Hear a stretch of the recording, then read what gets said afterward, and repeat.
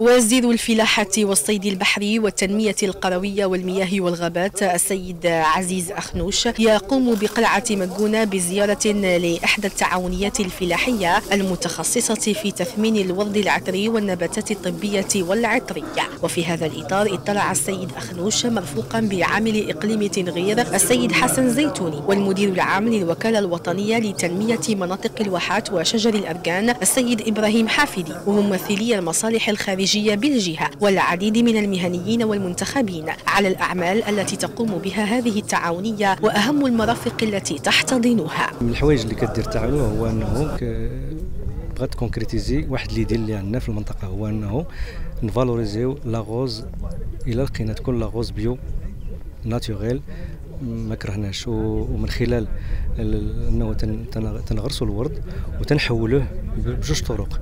كاينة طريقة بالتقطار la distillation par vapeur وكاينة طريقة ديال l'extraction par solvant يعني ce qu'on appelle la concrète بالفرنسية.